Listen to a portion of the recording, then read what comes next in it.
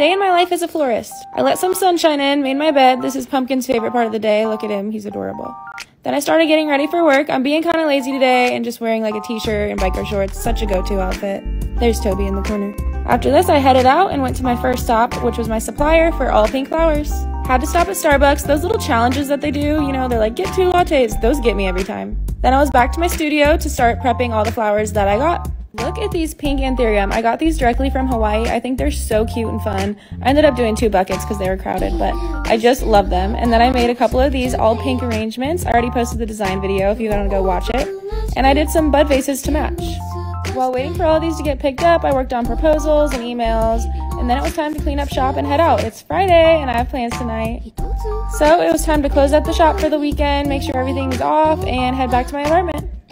This is my twin sister. I was meeting up with her for some drinks and a night on the town. We just wanted to have a chill night, but turns out there was literally a rock concert going on where we are, like, literally. So our chill night turned into a party night, and we ended up meeting up with some more friends and clubbing and getting pizza like 3 a.m. It was so fun, but unexpected. Now I'm just gonna hang out with my cats. I'll see you tomorrow. Bye! Hi guys, this is a day in my life in the Hamptons. So me and Gab woke up super early to grab the jitney to head out east, and we started our morning in Sag Harbor. We had some coffee and breakfast, and then we headed over to Love